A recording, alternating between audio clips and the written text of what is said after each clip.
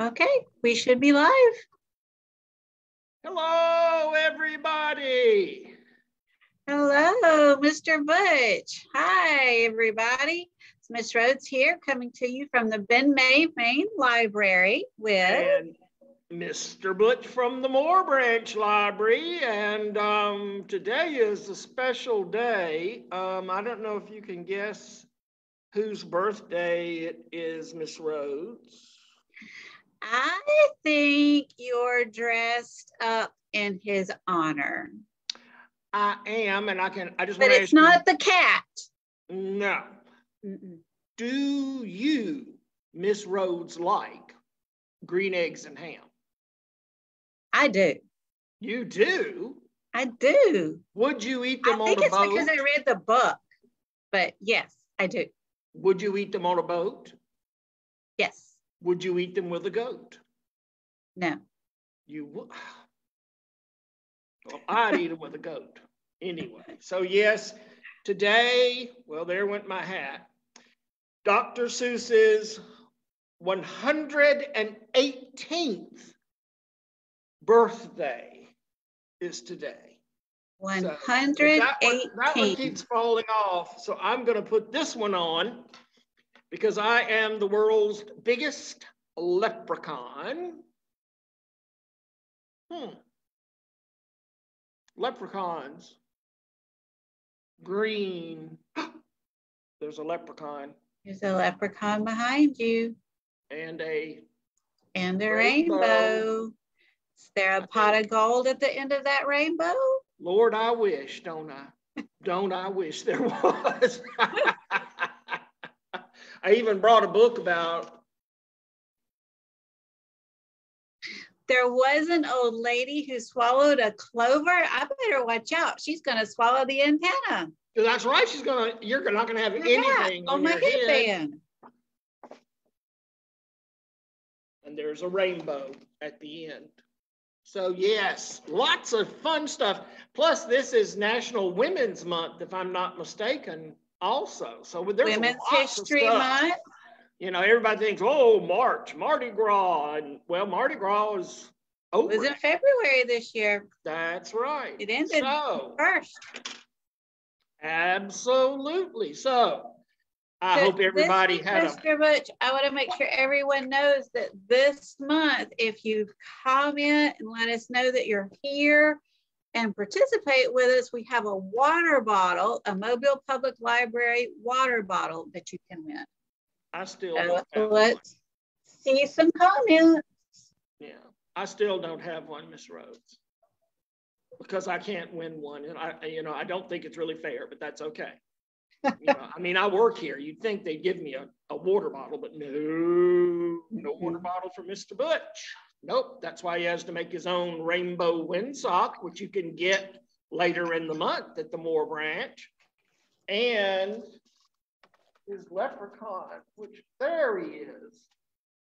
There he is. That's another craft you can come and get here this month. You have hats. I have a hat this month. I don't know if you realize this, but Pi Day is this month, all about circles on March the 14th. 314, 3.14, it's pi. So we're going to use circles and the math of circles this month in STEM Club and make our leprechaun some hats. That is neat. I never forget. My mother told me that she went in and um, when the doctor said um, pi r squared, she said no, pi r round. Some of the older kids might get that one. I don't know. We'll see. We'll see anyway. But yeah, I mean, you have pi this three 314 this month. Do you know what the fifth is? The Ides of March. The Ides of March. That's another famous Oh, day oh in history. you know what else today is though? What? Today is Read Across America Day. Let's see. Reading Across America is today, and it was started in memory of who? One fish, two fish, red fish, blue fish. Dr. Seuss. Dr. Seuss. Dr. Which Seuss. happens to be one of the books that I'm reading today. Ah, I read Across America you. Day. And I'm reading the one that he wrote, that he had published very first. And to think that it was on Mulberry Street, published the same year Mr. Butch's mama was born, 85 years ago. His first book, 1937. So Dr. Seuss, birthday, read across America, and all those wonderful books. But, and I would have showed it to you, but Mr. Butch's favorite Dr. Seuss book is one that nobody knows much about. And I showed it to some kids this morning and they checked it out. I'd rather them be reading it than me just have it here to hold for you. And it's called Dr. Seuss's Sleep Book. And it's all about going to sleep. To sleep. And my favorite character in there is do you know who's asleep down in Foona Lagoona? Two very nice Foona Lagoona baboona. I love Foona Lagoona baboons. But anyway, so we've got Dr. I need well, that book after I read my new book, Sneaks. It's called Sneaks. It's by Catherine Egan, and I just I just found it on the new bookshelf, and it says there the hallways in Ben and Charlotte and Akeem's school are filled with objects that are sneaking around. Scary He is chased. Ben is chased down the hall by his teachers. Watch. Well, you know, Mr. Butch was a teacher, and I don't know if Mr. Butch could handle being chased by something down the hall. Other He thought he was dreaming, but he, Ben thought he was dreaming, but he wasn't dreaming. It was his teacher's watch. And then they found other objects chasing them and sneaking around. And there's a book that's going to help them, but they've got to um, get the book and all kinds of dangerous creatures. And so it looks really good when I picked it up today and I started reading and I didn't want to put it down, but I had to come do Wacky Wednesday. So um, Next I like month, meeting with all tell y'all. Yeah, next I, month you I can tell might need your Dr. it. Seuss book next so that I can get some sleep. There you go. I brought a new book too. We just got this one last month and well, Mr. Butch has three fluffy babies at home. I know that you have a puppy at home. Well, Mr. Butch has three kitty cats and he saw this new book. Cat hats. And if you look on the back, look at all these different types of hats that are actually cats. It's a shop you go in and the cats go in and they pretend to be the hat on your head. Look at this one with the football helmet with the tail as the chin guard. Cool. So cute. Look, And that one on the front's even winking at you. Like he's probably up to absolutely no good, just like mine are most of the time. So cat hats, something that Are the cats trying to fool you that they're hats so that you'll take them home?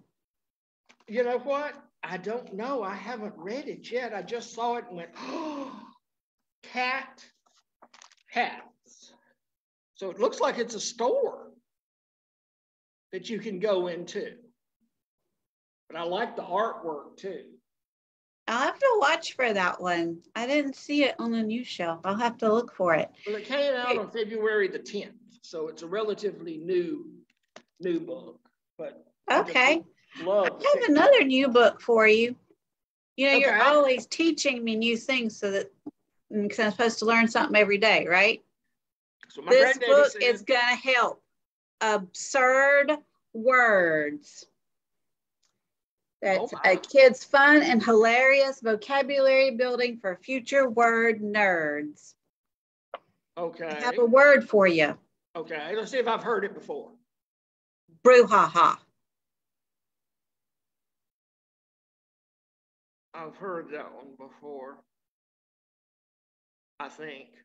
A brouhaha means like a big loud get together and it's just a big lots of noise and oh god all the brouhaha. Am i right? Correct. It's a noisy chaotic commotion especially about a specific thing or event. Oh. and in some of these words it tells us the roots where the root came where, where the word came from. So brouhaha is it's some sort of an has its Hebrews in have its origins in Hebrew. Okay. Linguists haven't quite reached an agreement on where it comes from, but it might be as old as Hebrew. Some think it's just an imagination of a noisy imitation of a noisy situations. Others think that a brouhaha is a distortion of the Hebrew phrase baruch haba. I hope I said that right, which means blessed is the person who comes, used as a welcome or greeting. This says that Jewish people are known for doing things in community. So if a lot of people arrive somewhere at once, it's likely it'll get noisy and confusing, just like a brouhaha. Brouhaha. Well, see, now I know something that I didn't know. I'd heard the word, but I didn't know where it came from it's fun reading the origins of the word, and there are nice pictures. Oh yeah. And try to stump me with another one. Okay.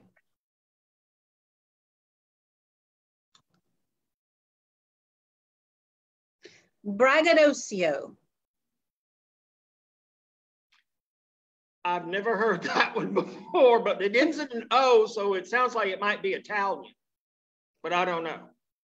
There are two definitions. Okay. One, someone who boasts or brags a lot is a braggadocio. Braggadocio. Or it can be a noun, the act of bragging or boasting. Okay. Here it is in a sentence. The braggadocio thinks he's the most popular kid in the neighborhood and keeps dropping the names of all his so-called friends. Oh, okay. That one I did not know. So you stumped me that time. I stumped you. You learned something new today. I did. I've heard of braggadocious, but not braggadocio. Okay. All right. So we've got the bottle to give away. Who mm-hmm. won the bottle last time? Do we know? You don't remember. I don't remember. I should have brought that with me. That's okay. we need to announce the winners of the I have them here. The winners of the float contest Ooh, that they yes. had at West Regional. We don't have any joining us today so far? Well, they're out of, you know, most of the schools are not in this week. And today's right. Wednesday. So, you know, maybe they're out enjoying the pretty weather. You and I are stuck inside, but it's good to be stuck inside when we're talking with the kiddos. So, but we have it some was events. A13. Let's see. Let me share it with uh, the share screen. Let me try this one more time. Give us okay. another fact to our book. All right. Did you know that Dr. Seuss wrote some books under a different name? Was it Theodore Stieg? Lustig. Lustig? Did, did you know that Lustig is his real last name spelled backwards? I did not. His last name is Geisel.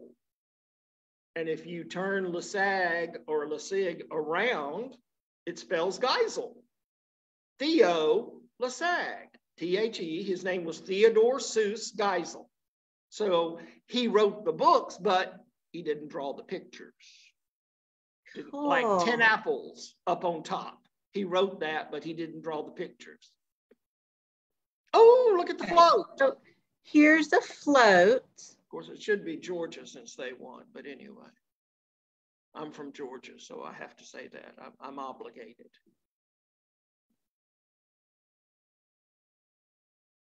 Okay, on your end, are the floats scrolling across? Yes, they are. Very good. It is sharing properly. I want everybody to be able to see all of them. We're coming up on the winner of the A group here, ages five and under. And there's the winner of the five and under, A13. Really cool work. Yeah, from Frozen. Mm-hmm.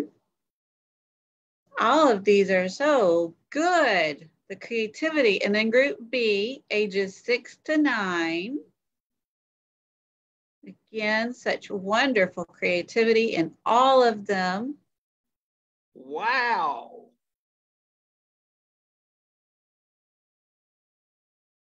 Some of these could actually go down the street. There's that good. Absolutely. They're definitely that good. And there's the winner. Congratulations, B15. All right. Look at all those feathers.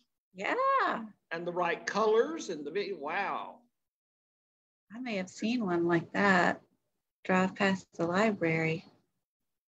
And these are just must be honorable. This is group C, oh, ages group C, 9 to 12. And there's the winner of Group C, C7. Congratulations. All right. There was a link on the Facebook page so that people could vote for their favorites of these. Oh, neat. Wow. Now, next week, I'm having um, mad scientist. We're going to be doing a science experiment, I think, next week here. What are some of the things that are going on around the rest of the library system at the different libraries? Do we have something that tells us all the neat stuff? Do. Let me try this screen share again. If not, I can tell you what I'm doing. I know next week I'm doing the Here um, scientist. And then you're doing uh, mad scientist. I wonder if scientist. I hope it's in my slides. There we go. I don't know. Let's see. Ooh, I hope so. It should be. March events at Mobile Public Library. There's Read Across America. That's right. Going on not just today, but all week at Semmes Regional Library. Children ages 4 to 14 can check out 10 books and they will be put in a drawing to receive. Well, actually, they take out 10 books and they receive a free book. That's what it says. Wow. One free book. That's so you get 11 books, you have to take, you get to keep one's yours.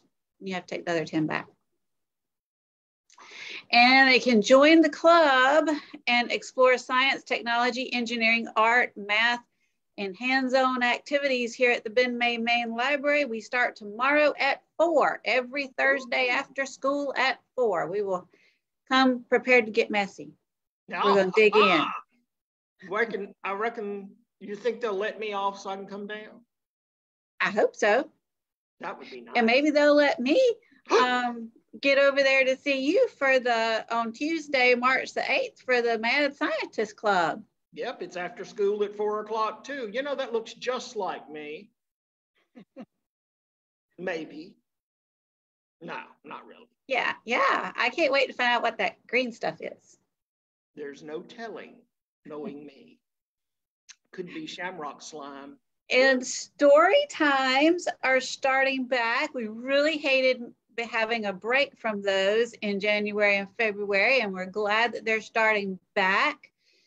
The read and play story time will be on Tuesdays at the Ben May Main Library and good listener story time with Mr. Butch at the Moorer Spring Hill Branch Library on Wednesdays at 10 a.m. And I had some here today.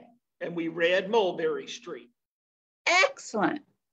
And then there are some special story times coming up. There's going to be Bernheim story time on Wednesday, March the 16th at 10 a.m. We're going to be clickety clack reading and singing and playing all with trains. All right.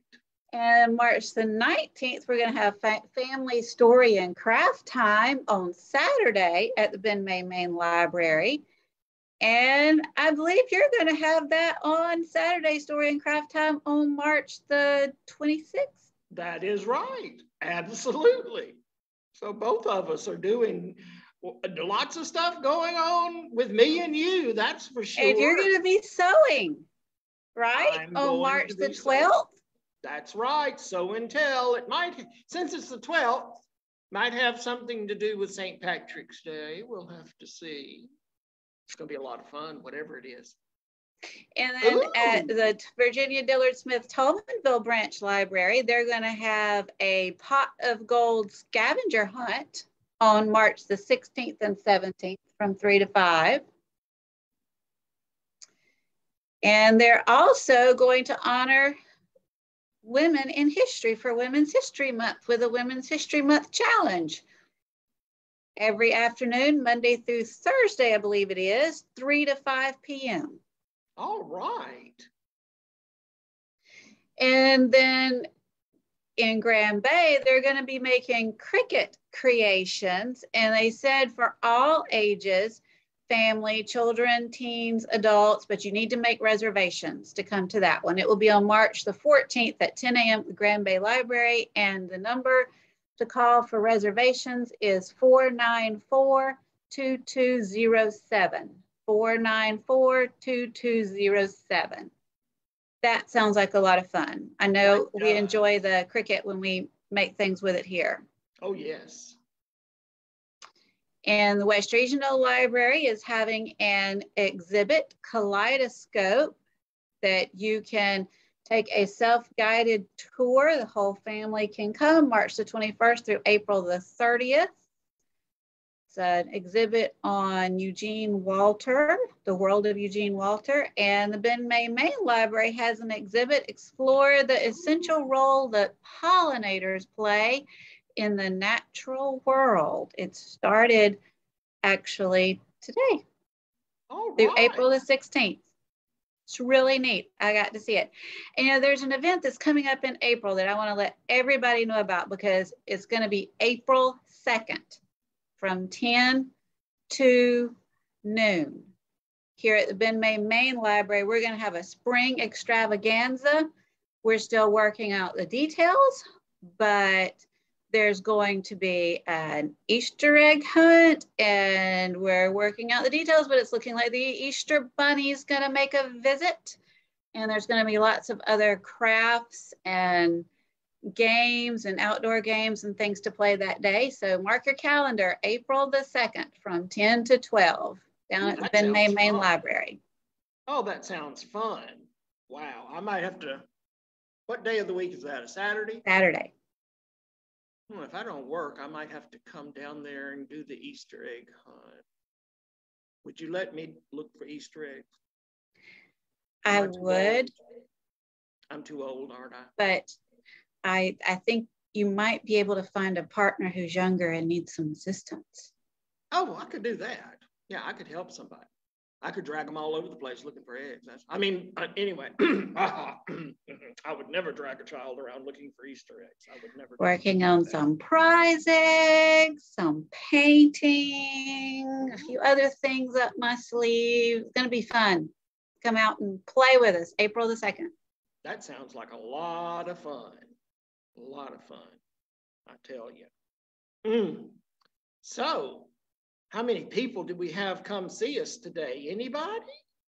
I hope so, because we got that real nice water bottle that you can get to let us know that you came and listened to Miss Rhodes and Mr. Butch go crazy on the internet like we always do. We missed Miss Jamie today, but she had something else she had to do. So it was just the two of us getting ready for all the neat stuff that's happening. in the library this month. Checking my I mean, other screen. oh. see if you I have have another any- screen? I got another screen. I'm looking to see if we have any comments. So be sure and leave your comments so that we can put you in the drawing for this nice water bottle. Definitely. Definitely. And I'm sure all the different branches are going to have crafts available this month that have all different things. This week, I've got um, cat in the hat hats that you can come by and get and color and with a piece of yarn, put it on your head so that you can wear it this week while you're doing Read Across America. And just come see us, talk to us. We'll show you some neat books that you can read and maybe show you some stuff you didn't know that we had here at the library. And I'm hoping next month, I'm planning on it. We're crossing our fingers. I'm hoping I'll be able to start doing my Legos again next month. Uh, Oh, I hope so. and add some more story times too. I'm just doing it at 10 o'clock this month, but I might be adding my other times back next month. It just depends on how things are going. And we just appreciate you all being so patient with us, but we're trying to keep you safe because we don't want you to get sick. So just keep looking online, tuning in to Wacky Wednesday every month so that you can see what's going on at the library. There's always going to be something going on at the library that's going to be fun. But to keep up with it, go online or go by your branch and maybe get a calendar that shows you all the events that are going on at your particular library because there are also stuff for bigger kids and for the adults going on too. But you have to understand, Miss Rhodes and I are both children at heart. So we play with the little ones. I had the ones that came to story time today, and I looked at them and I said, Hello, mommies. Y'all are very nice, but you understand these little ones are the ones that are closer to my age.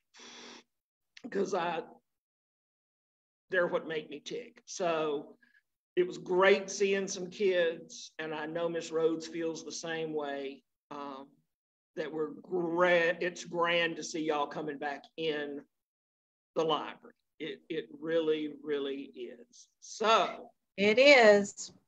I I, can't wait till tomorrow for STEAM Club. that's going to be fun. I know it is. It always is, or whatever. So um, just remember Dr. Seuss, Dr. Seuss is on the loose, is on the loose. So you watch for him and read some of those Dr. Seuss books this month and celebrate his birthday this week with Read Across America.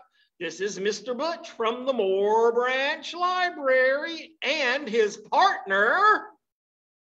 Miss Rhodes, and comment and tell me if you've read Sneaks and what you're reading for Read Across America today and this week. Absolutely. See you next time. Bye. Bye.